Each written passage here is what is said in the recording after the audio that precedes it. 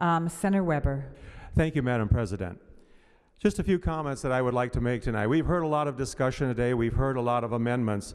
But at the end of the day, it's, it's uh, a good question to ask us, indeed, what have these amendments achieved? And the reality of it is, it's probably very little. Because I think the main points that are of concern in this overall bill have not been, have not been addressed in a meaningful way. Whether we're talking about the idea of competition, whether we're talking about the idea of accountability, we never even began to talk about, in, in many respects, to the issue that Senator Brown brought, brought up about the navigators, the fact that we're going to have unlicensed people helping helping our helping the customers and the, the people who are in need of insurance work their way through this system. Many of us had our businesses, uh, we are hold state licenses. In my case, it's real estate. In some of my colleagues' cases, it's insurance. We have to be very careful that the people that we have in our offices that are unlicensed do not go out of their way and do not give too much information or assume any type of role of advisory capacity. And yet, we're asking people who are in need of, of services as they pursue uh, health insurance to rely on people that are unlicensed and, regardless of the amount of training they have, will not have a full comprehension of the insurance system. I think that it is a disservice to those people that are in need of their services, to have people that are unlicensed and capable, and in many cases, not fully understanding the insurance system. We've talked about the, um, the fiscal notes. And the reality of it is, is that there was an admission made, that there really was no discussion of the cost at the local level. And yet there are many local governments that do believe they will have a cost, whether it's with additional personnel, programs, and that type of thing. I think in reality, we have to recognize that we're stressed, we're meeting a deadline as far as the federal government is concerned. But what we have done here is truly a disservice to the people of the state of Minnesota.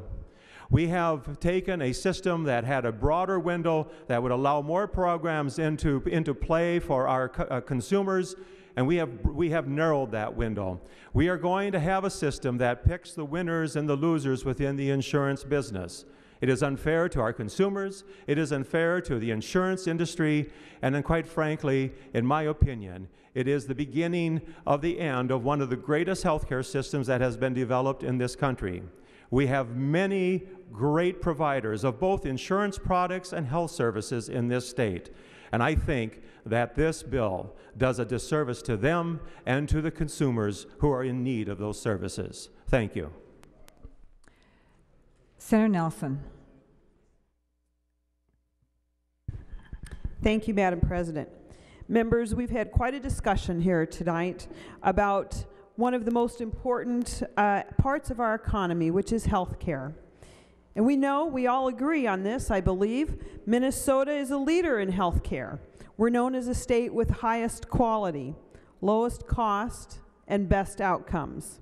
So we should have a Minnesota-made health insurance exchange. It should be a Minnesota-made exchange. That's what I wanted to see today. We should have a Minnesota-made insurance exchange that retains patient choice in health care, one that encourages competition among health insurance plans, and one that is governed by a board that includes the experience necessary to establish those sound policies relating to providers and insurance carriers. But sadly, members, the bill before us tonight does not do that. The bill before us tonight limits patient choice. The bill before you tonight increases cost. The bill we'll be voting on tonight limits competition among health plans. And the bill that we will be voting on tonight is governed by a board that is void of the expertise in the science of the healthcare delivery and actuarial science. Members, in its current form, this is a dose of bad medicine. For the sake of Minnesotans, I'm hopeful, very hopeful, that this bill will come back in better form when we see it after conference committee. Minnesotans deserve better. Vote red. Senator Benson. Thank you, Madam President. Um, as Senator Nelson said, this bill does fundamentally transform Minnesota's healthcare system. And we do have the best healthcare system in the world, and it's our responsibility to protect Minnesota's healthcare and Minnesota's citizens. And so as you prepare to vote for this bill, make sure that you can answer these questions. How much will this cost us? Will my constituents get to keep their doctors? Is my privacy going to be protected in this exchange? And we've talked about the costs, and I sent around yet another article about the cost of care in Massachusetts. They're a little bit of ahead, ahead of us, and they're running into big trouble. The board can choose the plans it deems fit, might not have your doctor, which means you either leave your doctor or you leave the exchange. And privacy. There are still serious concerns about the amount of data flowing back and forth between entities and the federal government. So after all this debate, the thing that we know for certain is that when we pass this healthcare exchange, Washington, D.C. will have more say over our healthcare system, and an unelected board will be making more healthcare decisions than our legislature. And for that reason, ladies and gentlemen, I would urge a red vote. Is there any other discussion? Senator Chamberlain. Well, I had in mind a final question, but I'll, I'll spare everybody that. But uh, a few final comments. Uh, something comes to mind about who's looking out for real Minnesotans, all those folks out there in the state. And this is a historic day. I think all of you would agree to that. But I would submit it's historically bad for all Minnesota, for the children, our vulnerable citizens. I also submit it's a sad day for me and for Minnesotans. Tonight, you will vote to end health care the way we've known it in Minnesota. You will vote to end that. And as Senator Weber said, a health care system that has led the nation in cost, quality, access, and innovation.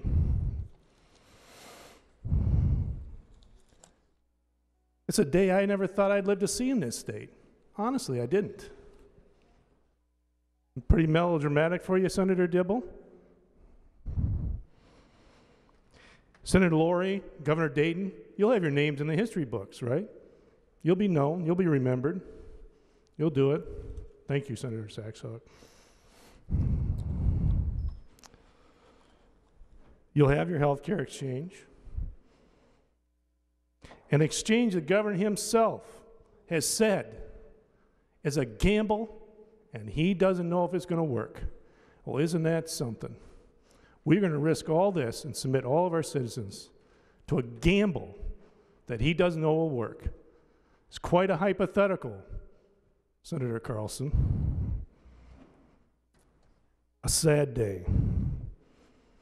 Senator Lourey, Senator Johnson, Senator Dahle, tonight you'll vote for this health care exchange. But next week, people will feel the impact of what you've done tonight. Jobs will be lost, and hours will be reduced, and people will lose money. And soon, people will lose their health care coverage and moved off of their employers into this exchange, which I hope you keep your promise that we will be part of. During the committee hearings, we heard and learned that access will not be improved. We learned that people, not everybody's going to be covered. And after all, that was one of the main reasons for this exchange to get people covered by health, health insurance. Costs will not decrease. We've seen reams of information and data that have said that.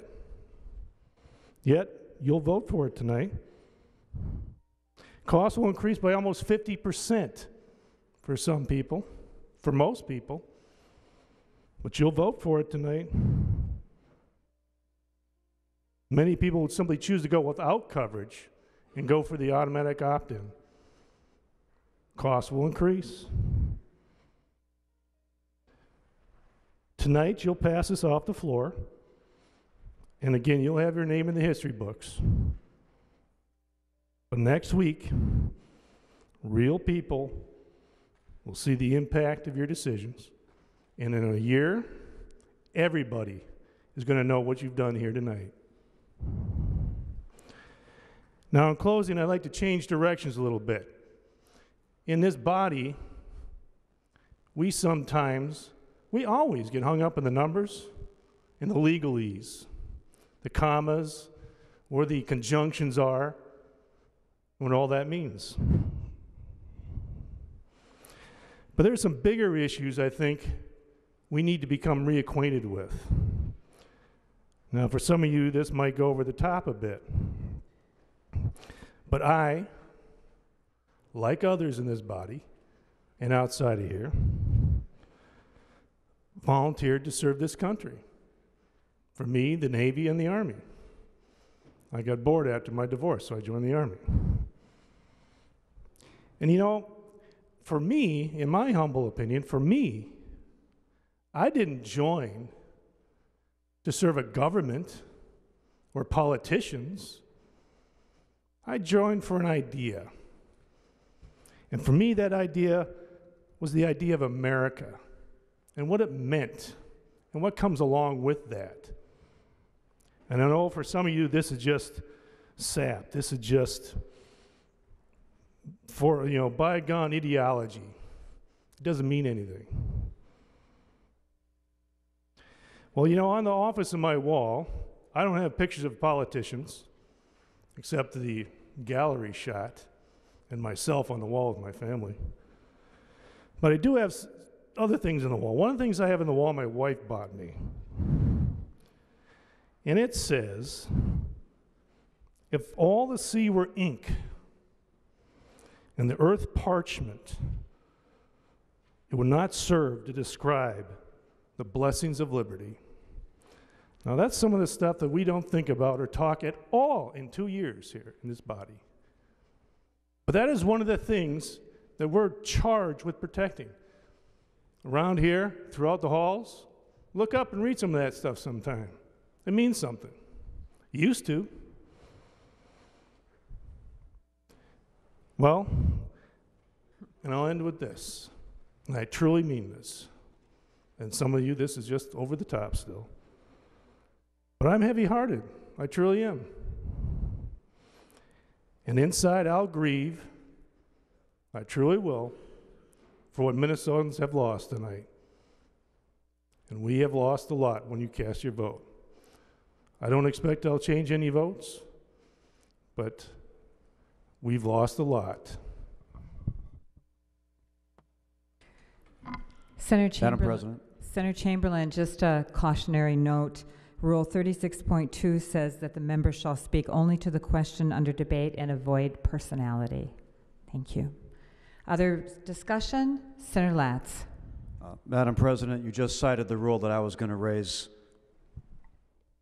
Thank you. Senator Madam President, Senator Chamberlain. I truly apologize for that indiscretion. But this bill tonight is one of the biggest indiscretions, biggest blemish the state has ever seen. So I tr- I'm sorry. Got back down to what was it, 36B? 36.2. Oh, I'm sorry. Okay, thank you. Other discussion? Senator Franzen.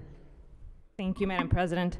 And I, I do feel compelled to add to the debate in my own terms, and after being here for almost, I don't know, 11 hours, listening to amendment after amendment, point after point, uh, and I, and I do am kind of sad because I've been in the legislature for, I think, three months now, but this body had two years since the law, the federal law, came to be March of 2010.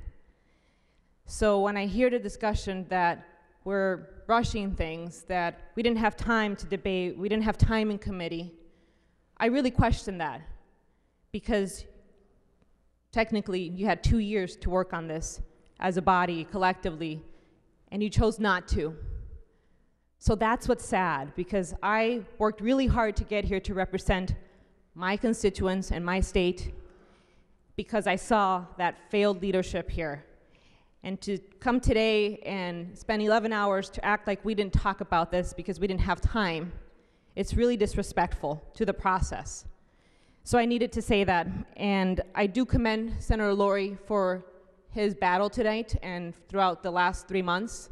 I just met you, and you've done a lot to move this, excuse me, to, Madam President, to do a lot for, for this debate and to really have the best exchange that we can. And I'm going to vote for this.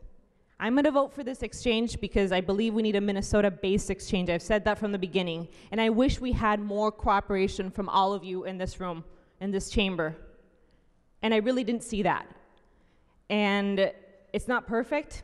There's a lot of things that I don't agree with on, uh, on the bill right now, but we, I voted my conscience on some of the changes. They didn't go through, but I thought I expressed where I stood and I feel comfortable in my, with my decision to support this bill. And I think we'll do Minnesota a great service by having a Minnesota-based exchange and not a federally mandated one. So you can hear all the rhetoric you want. That's my, my opinion that this is the best move for our state and that I hope that we can move together in the next part of the session and the years to come to make this even better and iron out any issues that we have with the exchange because it's not perfect and there are a lot of unknowns. We all know that. I have my inbox filled with emails from constituents, from businesses. I met with plenty of them to tell me all the concerns that they have, and I think I've expressed them. So I think we still have a lot of work to do, but this is not uh, the end of, of, of, of the debate on the exchanges, and, and we are going to have to work together on, on improving it. So I feel comfortable with my decision. And I again commend Senator Lourey for his leadership on this, and I hope that we can um, at least find some compromise some point in this session. Thank you. Is there any more discussion? Senator Newman, Madam President, uh, point of uh, parliamentary inquiry. state your point. Uh, When uh, Senator Franzen uh, makes reference to the, to the uh, fact that the amendments were, that were offered today uh, on the floor were disrespectful to the process, is that a violation of Rule 36.2 where she entered uh, into discussion concerning personalities? Uh, Because she didn't mention any particular names, I would, my advice would be that it would not be a violation of the rule. It's when you get into personality and you mention individual names that then it's a violation of the rule. Uh, Senator, Senator Kiffmeyer? Thank you, Madam President. I take a look at Minnesota's current system, and a chart was handed out earlier today that showed Minnesota out front, a leader. High quality, low cost. That's our position today. And this is an exchange bill, all right.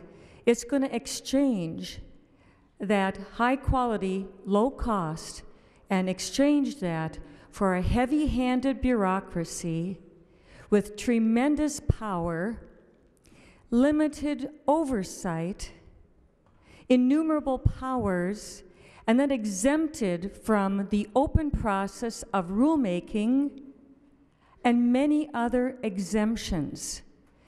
Wow, we're going to exchange our wonderful system for that. That is not the Minnesota way. Minnesota currently, we are right here now in this chamber. We publish things.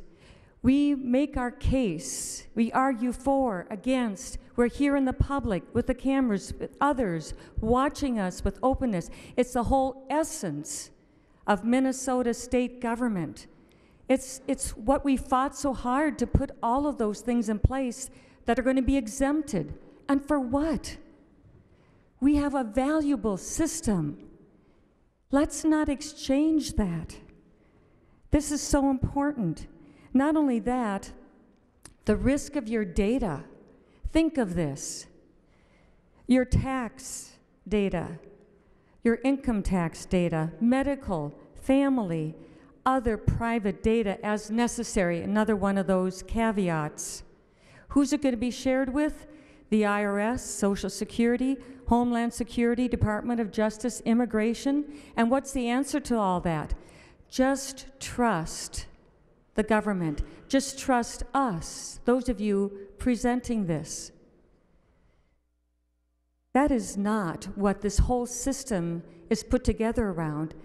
It's put in a type of respectful, not trusting, because we want openness, we want transparency, we want those rulemaking, we want those things because we need that, because there's a healthy skepticism that comes with what is happening that affects all of us so closely our children, our grandchildren. This is serious. Don't exchange what is so good for something that is so full of questions. We heard from the U.S. Supreme Court just this last summer. That was a big question that was hanging out there that due process said, let's wait for our U.S. Supreme Court. Having done so, now we followed through with this part of the process. I don't just trust our government without the openness that our laws and our rules require and bring to this. The fact that this has been exempted is one of the biggest reasons why I will vote no on this bill. Members, I ask you too, stay true to Minnesota, what is so good. Don't exchange it for something that can do so much harm. Thank you. Senator Dibble. Um, Thank you, uh, Madam President, and Madam President, uh, Senator Chamberlain, I apologize if I was shaking my head too emphatically at his, at his speech. It was disrespectful, I apologize for that. But, uh, Madam President and uh, Senator Kiffmeyer and others, I don't, I don't understand what we're talking about, about preserving what's so good in our system. We know that about 9.1% of our folks in Minnesota don't have insurance, and that's going up and it hasn't recovered yet. Madam President, members, I have two siblings who work very hard and don't have health insurance, and they don't qualify for any of our public plans. My husband, who runs a small business, pays for very, very expensive health insurance that consumes most of his monthly income every month. So, Madam President, members, to Senator Franzen's point earlier, we had a long time to work on this, and that was blocked by the previous majority. And the healthcare exchange actually was originally an idea that came out of conservative think tanks and was one of the ideas uh, that was championed by then Governor Pawlenty back in the day as a way to preserve the free market aspect of our healthcare system and address this issue of no insurance and underinsurance that's causing so many of our hardworking folks in Minnesota to continue to struggle despite all of their best efforts. This is a reasonable approach to extending a decent set of health care benefits and in, in an affordable manner to a whole lot more people who simply don't have access to health care right now. I have another sibling and her husband who do have health insurance, but through a public, but through a public system. But thank God for that because they struggle with significant health care, health issues in their lives. Otherwise, Lord only knows what circumstance they would be in because of their health struggles, significant health issues that they struggle with. I have yet to hear from those critics of the Affordable Care Act and the Health Exchange a reasonable approach to addressing the issue of, in our country, of 50 million folks who don't have health insurance and another 10, 15 million who are underinsured. That is unacceptable and unconscionable in this country and in this state that generates more wealth than any other place on earth. To just simply leave people out. You want to talk about rationing? That's rationing, Madam President. And that's unacceptable. Senator Nienow. Thank you, Madam President. We have a bill before us, and every member here is going to vote their conscience, vote their best judgment. But we have a bill here before us that is deeply flawed in many ways. At least when it started, it had a mechanism to pay for itself. I didn't think it was the best mechanism, but it was an honest mechanism. It was a 3.5% tax on premiums. Would have caused basically everyone's insurance premiums to go up, but it was honest, paid for itself. What we have in front of us now is a gimmick. We take money out of a health impact fund that is essentially general fund money with no way to backfill it in a year when we have a deficit. So, where does that money come from? Now, granted, it's not a whole lot of money in the next year and a half, but if you take a look at the fiscal note, in the next few years, we put a $130 million hole in the general fund. And that's not hypothetical, that's real. Where does that money come from? Education? Welfare? Healthcare? Food stamps? It's coming from somewhere, and we don't have the answer. Tax increase? Maybe, but that is hypothetical.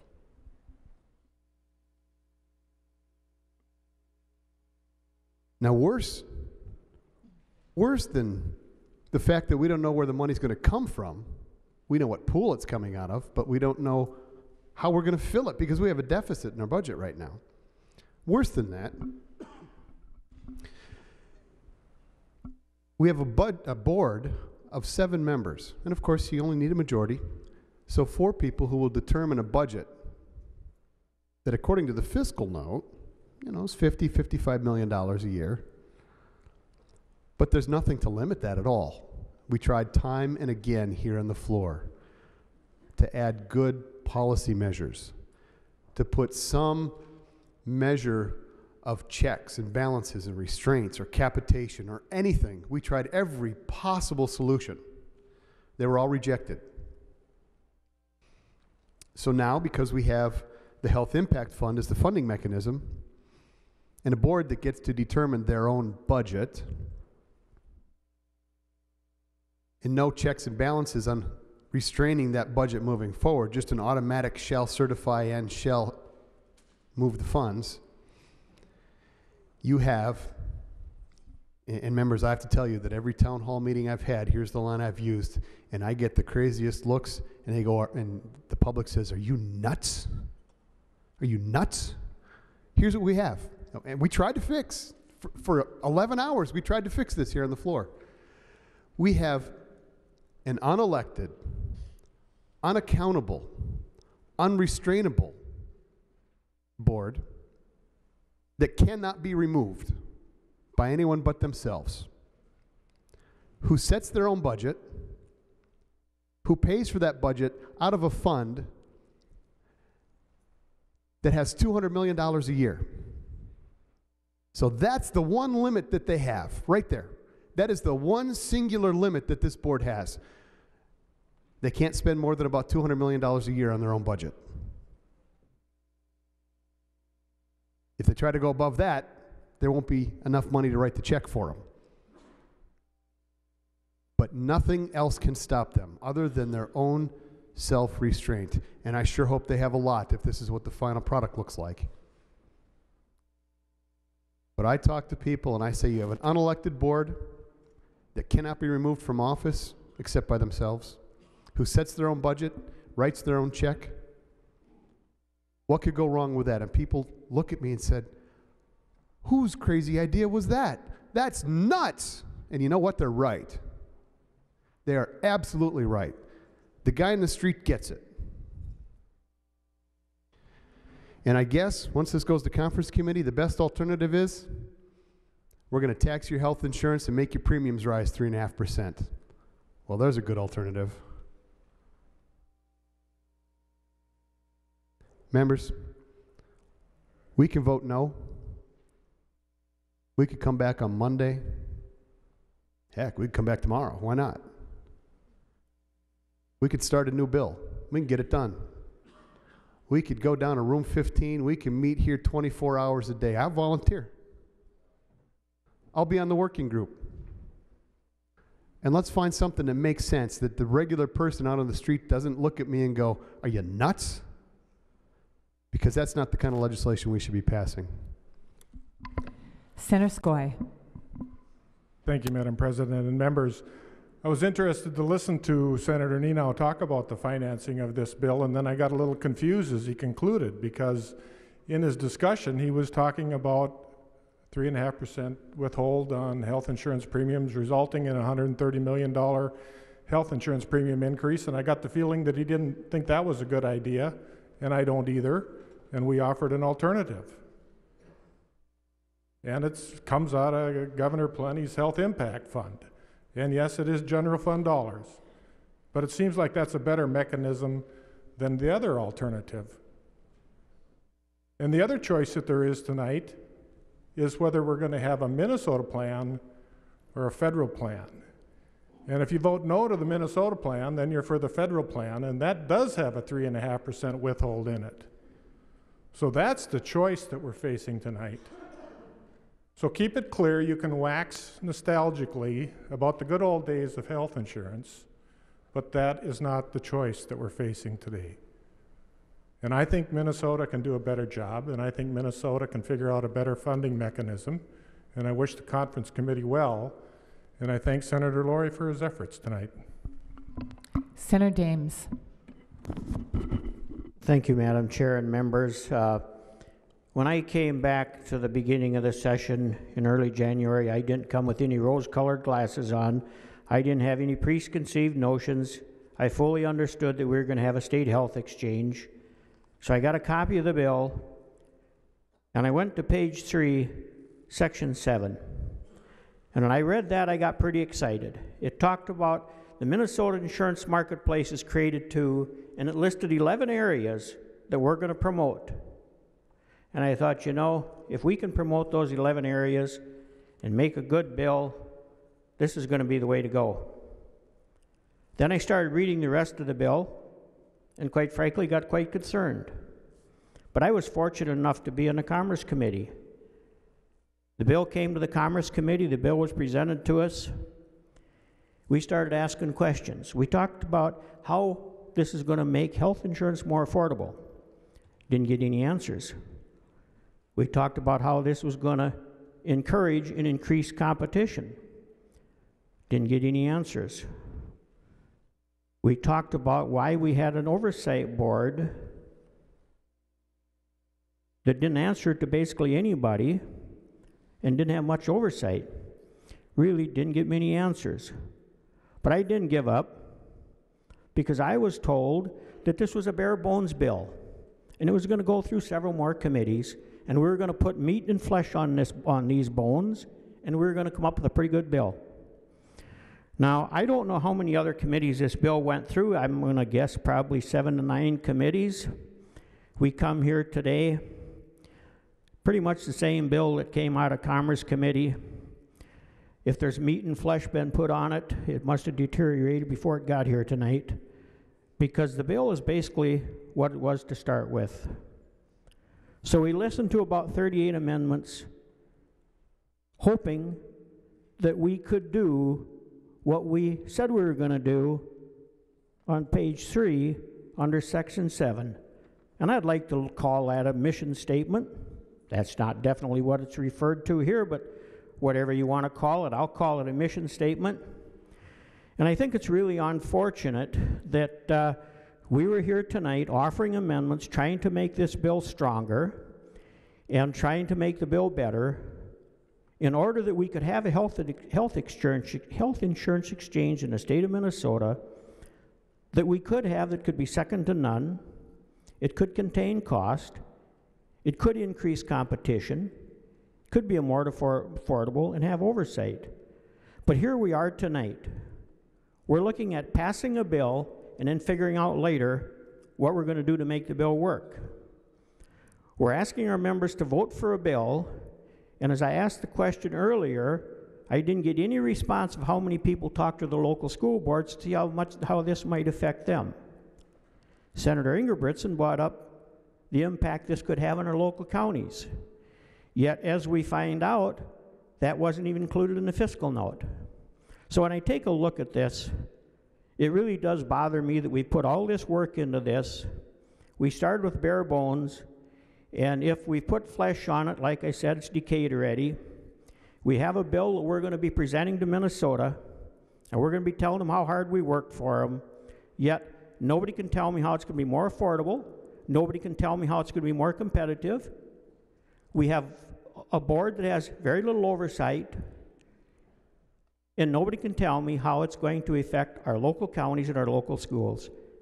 And I'm not going to be able to vote for a bill and pass a bill and then try to figure out what the effect is going to be later. I don't think my constituents sent me here to do that type, type of legislation, and so I will not be voting for the bill, and I would ask that you folks do the same. Senator Bonoff. Madam I'm sorry, wait a minute, Senator Bonoff. Um, Senator Thompson was next. Thank you, Madam President and members. You know, uh, something was made earlier of the fact that the previous majority didn't take care of this issue. Well, there's a reason for that. And the reason is that taking care of this issue is allowing ourselves to comply with and, in many of our opinions, be pushed around by the federal government in a way that we believe is dangerous, in a way that we believe infringes on the 10th Amendment, which I know is kind of out of vogue these days. But some of us care about that. Some of us care about Minnesota families, people in Minnesota, the opportunities that they have, and, and the ability to control their own health insurance decisions and the kinds of things they do. And that's why some of us, and by the way, it wasn't unanimous. We had lots of discussions about it within our caucus, and I'll be honest with you, I wasn't certain of the way to go when I first started thinking about this thing, because as Senator Skoe correctly pointed out, whether we like it or not, this is getting put upon us. But I finally came to the conclusion that I had to stand on principle and say, how can I facilitate what I consider to be basically the takeover of our state by the federal government in a way that I think is unconstitutional and I think it's dangerous? So, yes, we did stand against it, and I'm glad I did. And by the way, that doesn't excuse abusing the process now. Uh, it, it seems that there's sort of been this implication well, we can go ahead and speed things through and, and not give the same kind of committee attention because the previous majority didn't do something. I'm unaware of that rule. I think that due process and, and, the, and the committee process is, should be done correctly no matter what was or wasn't done in a previous legislative session. Now let's get down to the uh, practical part of this. Senator Skoe is so correct. It's not the good old days anymore. no, our health insurance now is not dictated by legislators here in this body or the people of Minnesota, but rather it's pretty much dictated by the federal government. So there's no question when it comes to our health care, Dorothy has left Kansas. And I'm not so sure we're going to like it. And you know, health care is a kind of a complicated subject. We talk about deductibles and HMOs and, and MCHA and Minnesota Care, and all these things get confusing. But let's just take a simple analogy. Let's say that I came to you and said, you know what? I really think we got a problem with the way food is delivered in this state.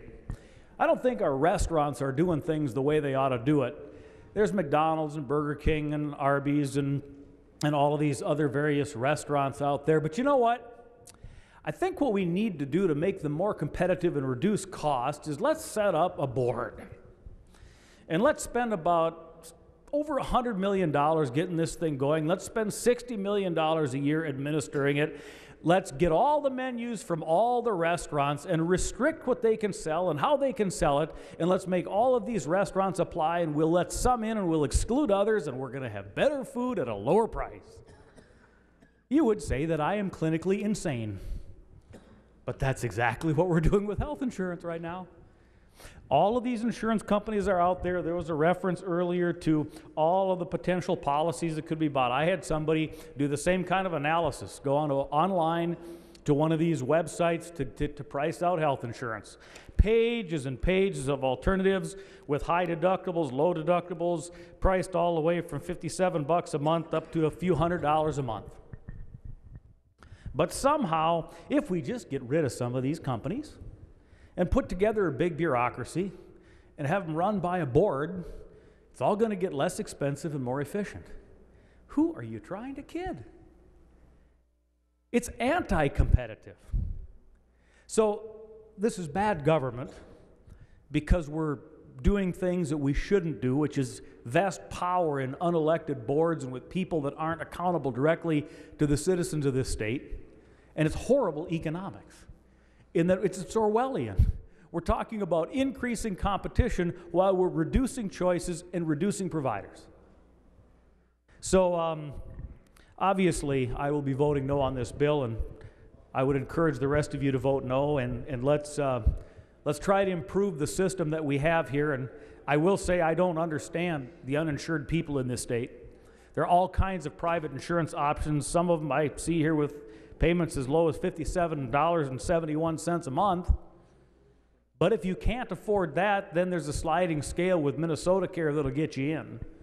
So, my understanding is pretty much if you are willing to get yourself to the building to apply for the program, virtually everybody in the state has the opportunity to be insured. And I'm with Senator Chamberlain and the rest of the folks that have said to throw this system aside for what even our governor has said is a gamble, is a gamble we shouldn't be making. Senator Bonoff. Thank you, Madam President. I have to stand and, and speak about what I think about the bill that is before us and this discussion because I didn't want my vote and uh, my not speaking to be an occasion for people to think I agreed with all of the conversation that I've been hearing from those who plan to vote no.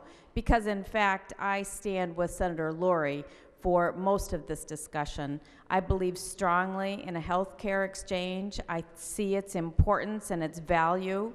I personally have family members with pre existing conditions, and after the Affordable Care Act was passed, I breathed a sigh of relief that I don't have to have sleepless nights about whether or not they would be covered. I have three children who are between the ages of 21 and 26 on my health care plan, so again, that was a welcome thought. And for many years, I have felt as though in the American system, the way we force our businesses to carry the burden of health insurance on their backs was actually unfair and put us in a disadvantaged competitive place. And so I had been hoping for a new system whereby insurance could be portable and people could bring it with them and they could have the buying power of a group without being in a group, and whereby small businesses didn't have to worry about the overhead of providing health insurance. And so, in principle, I stand strongly for this health care exchange. But each of us comes to the legislature with our own style, and for those who have worked with me over the years, you will find out that my style is I can be very strong minded and unyielding when I believe something, and therefore I vote uh, in accordance with my belief. And so I supported a, a couple of the amendments that Julie Rosen brought forward because I believed strongly that they would make this exchange more consistent with the way that I viewed it. And so, because those amendments didn't go on, and um, and I had told Senator Lourey I was going to um, see it that way, that I'm going to, to wait and see how this comes back from conference and hopes. And I will continue to work with Senator Lourey, but I do want it set on the record that I believe strongly in the health exchange and that um, I will continue working with whoever is on the conference committee to, to see if I can't be um, at, at the end of this discussion in a place where I'm a strong supporter of it. Thank you. Senator Pratt. Uh, thank you, Madam President. I met with Senator Lourey when this bill started its long journey through the legislative process, and at our meeting, we agreed that a Minnesota, the right Minnesota solution was preferable to a federally imposed system. Now, I worked through the committee process. We, we put together amendments.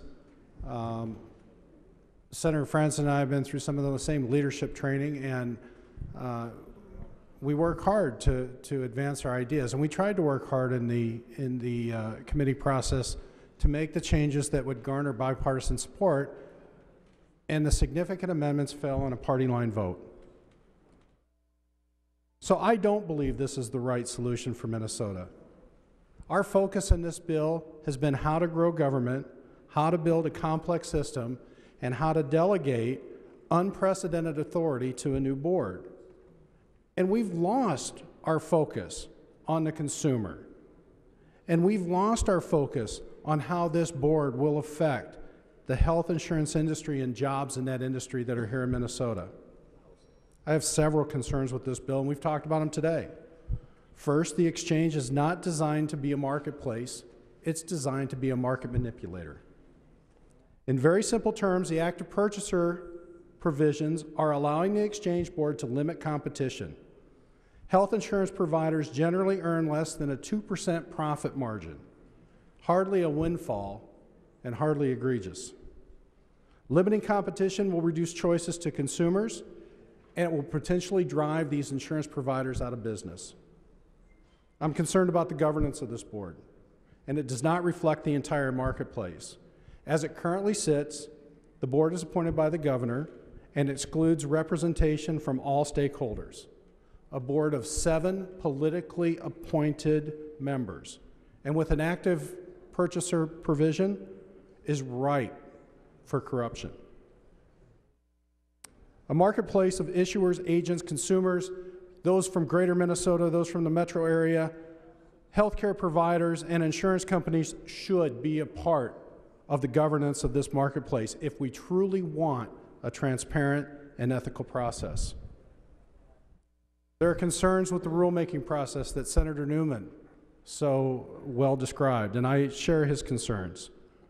The rulemaking process is meant to make sure is, is to make sure that we make deliberate decisions, not nimble changes, so that we minimize the probability of unintended consequences.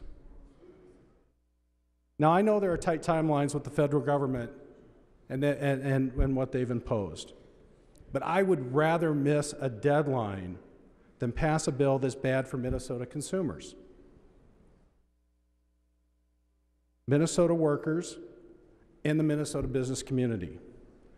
I'm not voting against the mandate of the Affordable Health Care Act, although I disagree with it. I'm voting no on an exchange that creates a new government entity, manipulates the health insurance market, increases the cost of insurance, and does nothing to improve health care. The government called this a gamble, and I think the responsible decision of this body is not to make that bet. Thank you, Madam Chair. Is there any further discussion? Senator Rosen.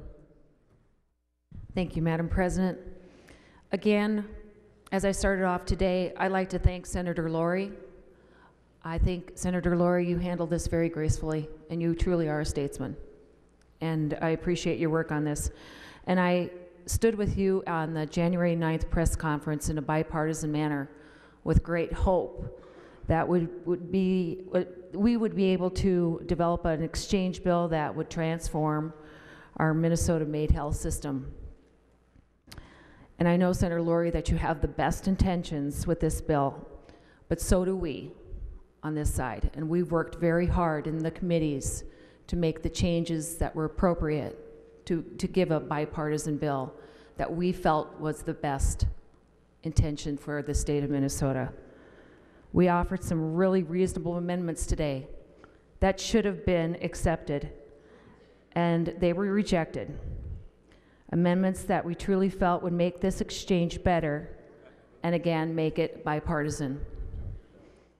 Reasonable amendments that would make this, this a historic change in our health care system.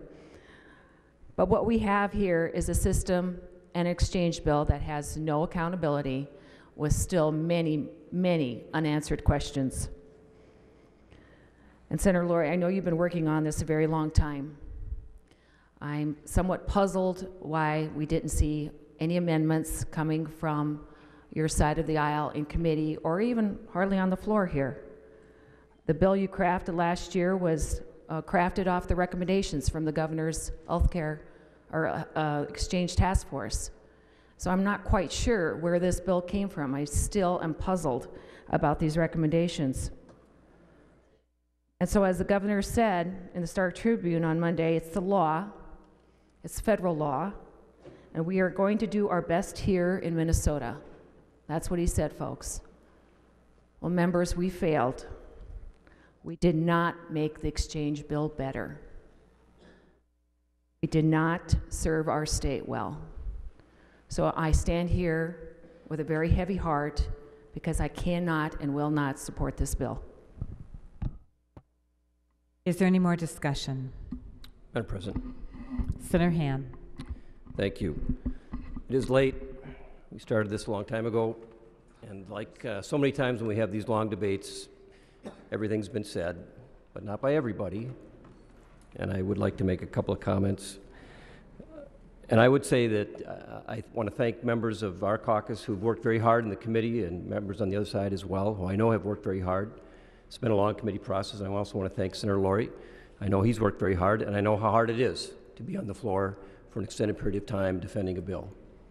And uh, he deserves our appreciation, all of us, even those who asked him questions and were arguing against him, because I do believe that that's helpful for the public to understand what's in a bill and what is in the decisions that we have to make. And I thank you, Senator Lourey, for your willingness to do this.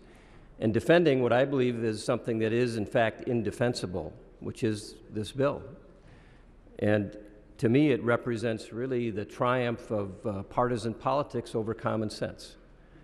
And this is a bill, this is part of a very, very partisan process, partisan project that started at the federal government. And we know the history, how that happened. And it's filtered down to the states. And what we're seeing happen here is sort of a microcosm what happened in Washington. And we had, throughout this year, uh, a very sincere, as Senator Rosen and others have mentioned, after the election, an effort to say, well, we heard a lot of talk about bipartisanship, and we heard a lot of talk about working together, and we heard a lot of talk about trying to recognize reality, and so let's create a bill that will do the best we can for the people of Minnesota. But there was no cooperation, there was no bipartisanship. I don't know how many amendments were offered in committees. I've 20 or 30, and we had uh, several more. Many of those that we offered tonight were very similar to the things we offered in committee, and all of them were turned away. It's hard to see that this is anything but a bill that was created, as was mentioned by, by others, as a partisan bill and was resistant to any change from day one. That there was a vision in place at the very beginning of what this bill was supposed to be like, and that vision was preserved and maintained throughout the process, and every effort to try to offer amendments to say, let's, let's bring some accountability, let's bring some changes to governance, let's bring some, some things that protect interests of consumers to this bill, let's, let's try to uh, deal with the costs, let's put some things that, that, that are sensible to this, that from our side at least we think are sensible, and all those things, all those things were turned away. And so we talk about let's be bipartisan, let's be bipartisan. And even the smallest things, putting one member on a governing board that has an interest in the thing being governed, was too much for the majority to accept. Too much. And so it's hard to look at this as anything except a very partisan exercise to achieve a very partisan goal. And I think even if you look at who supports the bill and who opposes the bill, and on one hand, you see the supporters, given the list we have, and you see AFSCME and SEIU and Take Action Minnesota, which are very partisan organizations, very political organizations. On the other side, you see the business community, NFIB and Chamber, Business Partnership, and others, and you see the insurers and the agent community, consumers all saying, we don't like this bill. And many of them say we are not opposed to the idea of an exchange if it is a market exchange, if it is a marketplace. But that's not what this bill is. And we had some discussion tonight about that. And a marketplace has some features to it. And I think those features have been expressed in the amendments we brought tonight on the floor and we brought in committee, and all those things were turned away, which to me, again, reinforces the idea that this bill is consistent with a vision that's being brought that isn't consistent with the idea of a marketplace, which is what many people who support an exchange wanted to see happen.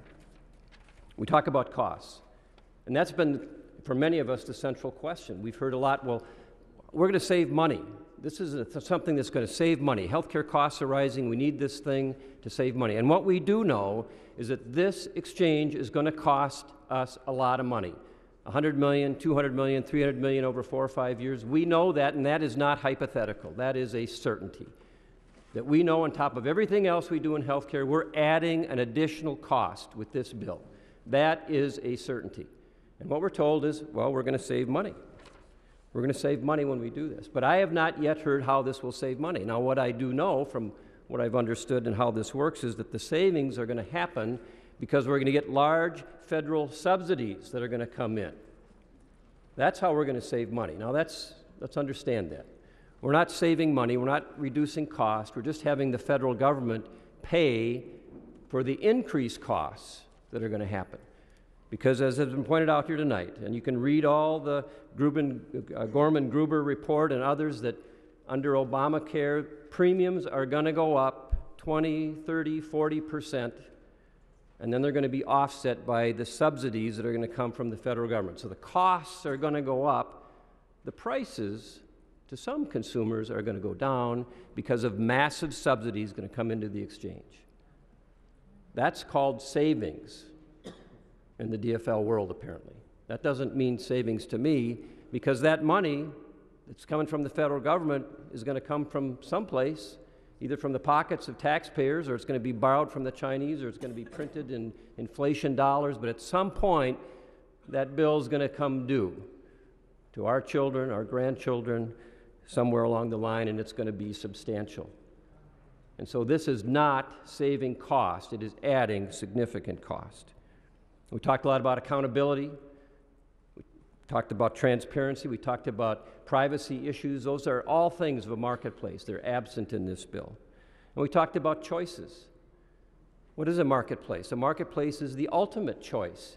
It's where people freely go and say, I want to buy something and I want to sell something, and people agree to do it on their own terms. And what we heard tonight, or today during the bill, is that what choice really means is that some people get to decide for everybody else that it's not how many things you get to choose from, but there are some people who are going to decide there are a few things that they know are good for us, are better for us, and we're going to choose them for you.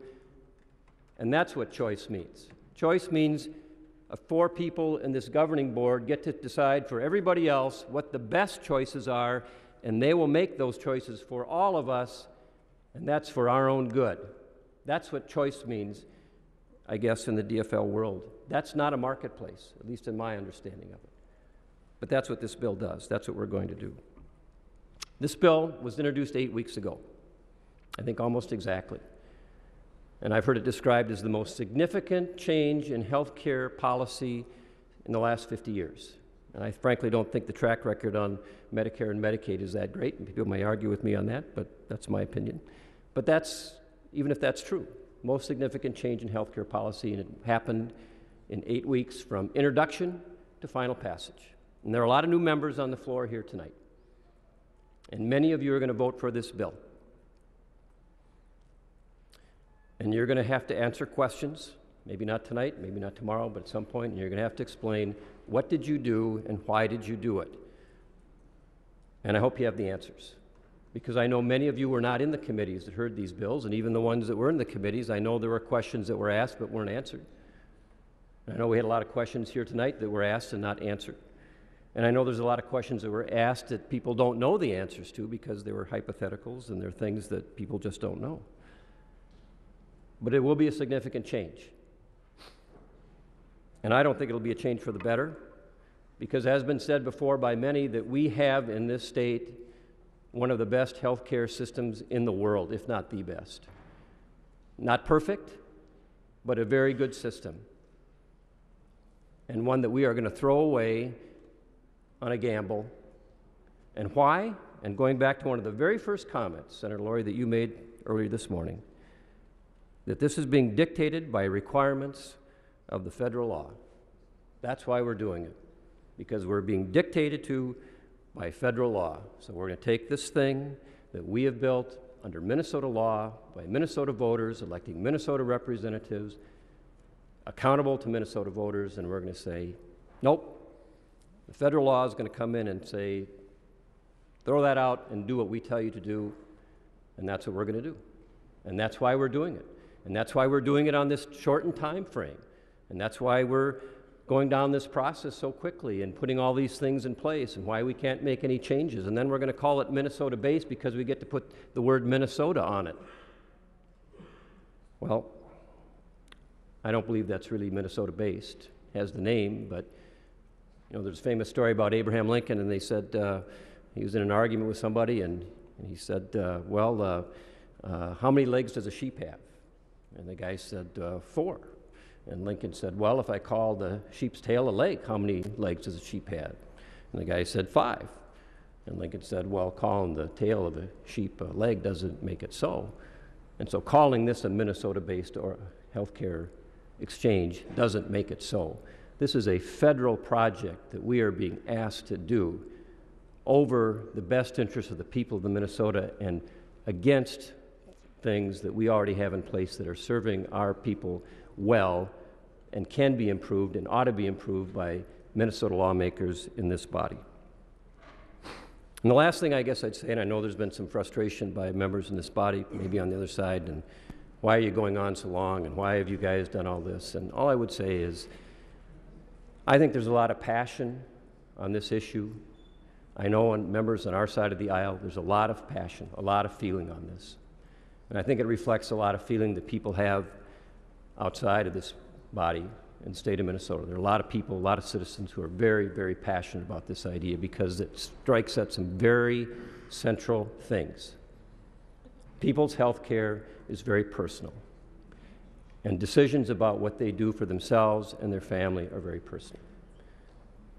And what we're doing is we're, we're doing some very fundamental things, some very large things to that very fundamental equation. And I don't believe anybody in this room really understands what's going to happen next year when we do this. It's a huge gamble, as Governor Dayton has said.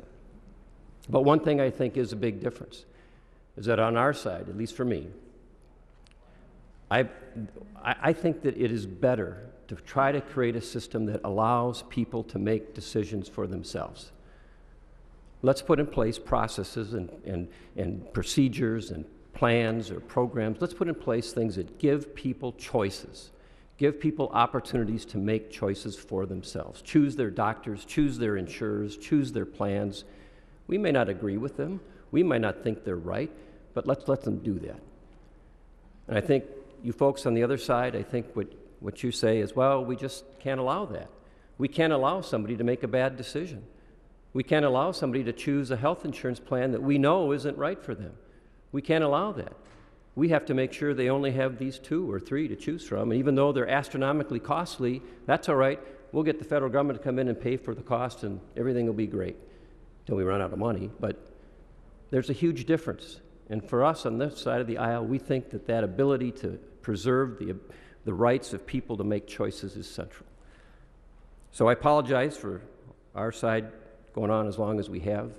It's, uh, I think it's sincerely an expression of the concern and interest that people on this side of the aisle have had. There's differences of opinion. We're not all the same. There are people who really wanted to see an exchange and others who may not have. But there was a very sincere interest to work with the majority to get a bill that represented a true marketplace. That I will tell you with certainty. And you might not have gotten every Republican to vote for it, but you certainly would have had a bipartisan bill. And that didn't happen. And I regret that, and I will be voting no. Is there any more discussion? Senator Lourey. Thank you, Madam President. It's been a long day, a long evening, and I really appreciate uh, members' attention and, and really appreciate the debate. And there's absolutely no need to apologize for the fact that it is a long debate. I fully recognize how important and, and critical these decisions are for the people of Minnesota, for our economy, and for our healthcare system in particular. Uh, a couple of things, you know, we, we did adopt some meaningful amendments. We adopted 17 amendments today when I counted and just scrolled through here. Um, through the committee process, we've been through nine committees, uh, over 27 hours of testimony, something close to 100 testifiers came forward in those uh, nine hearings. We made significant and meaningful changes to rulemaking provisions, to data practices, to the appeals processes uh, for insurance producers, our ag- agents, and our brokers to make the system work for them better. Uh, criteria around the selection for the board to help uh, narrow that target to make it work for industry. Uh, added a legislative oversight committee, changed the funding mechanism. This bill was introduced as a bare bones bill, and we did um, work on it and, and fleshed it out throughout the system. And I, I do believe that we have a bill that we can be very proud of at this stage of the game.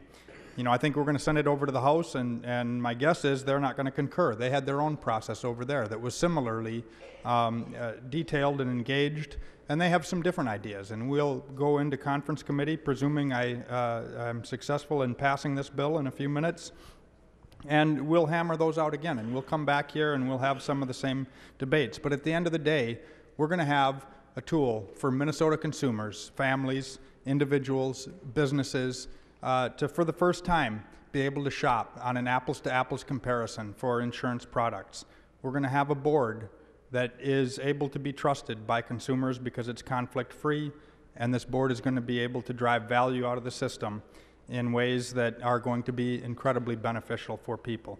We've heard about the effects of the ACA. These are unavoidable. Um, it is true that through guaranteed issue and richer benefit sets for individuals through the ACA, there will be premium increases. Those premium increases will be uh, more than offset for 70% of individuals uh, that, that are able to gain tax credits and cost sharing reductions through, through the federal government. But in addition to that, those increases uh, in, in benefit sets and in guaranteed issue, individuals will get more comprehensive coverage and pay less out of pocket in deductibles and copays. The uninsured that have a pent up demand will finally begin to have access to the health care services they need to maintain their health. Individuals will no longer be denied insurance coverage by insurance companies, and coverage for pre existing conditions will no longer be denied. Those enrolled in MCHA will have a better set of choices available to them, and they will no longer have to pay 25% higher premiums than those uh, without those pre existing conditions.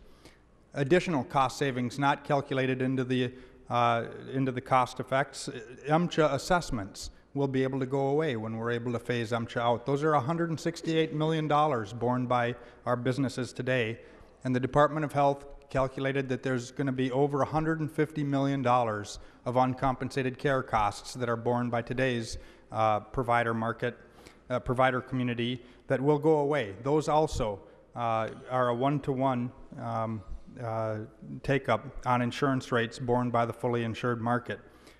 Uh, there's also been a lot of talk today about Governor Dayton's statement that this is a gamble, and it's true. We are gambling. We have to, we have to make a decision.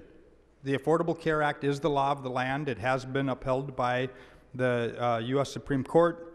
Um, the president won re-election. It, it's going to stand. We are going to have to implement an exchange. The question before us today is whether we implement a federal exchange, allow a federal exchange to be implemented, or do a state based exchange. And so, in this gamble, I'm going to bet on the state of Minnesota. I'm going to bet that our industry is going to step forward and be able to produce the products that are of better value for our consumers, our families, our individuals, and our small businesses. I'm going to bet on Minnesota's healthcare community that they're going to be able to embrace these reforms and really bring about the triple aims of healthcare to find uh, have better individual experiences in our interactions with the healthcare system, to have better population-based health statistics, something that we've all been striving for. And if we achieve these first two aims well, we will easily achieve the third aim, which is to bend the cost curve at the end of the day and really uh, produce the results that we're all looking for in the healthcare system. This is a good bill. It's going to be a big step in the right direction. We have a little way to go yet through the conference committee process, and I look forward to that and will continue to engage in an open and honest dialogue about these important issues. And thank you for uh, the uh, really good debate today. I urge a green vote. The secretary will take the roll on House File 5.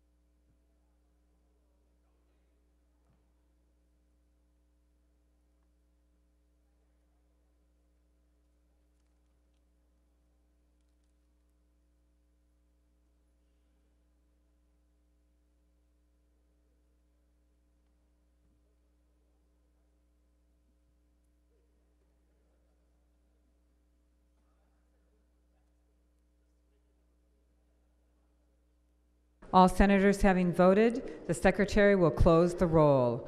There being 37 in favor and 28 opposed, the bill is passed and its title agreed to.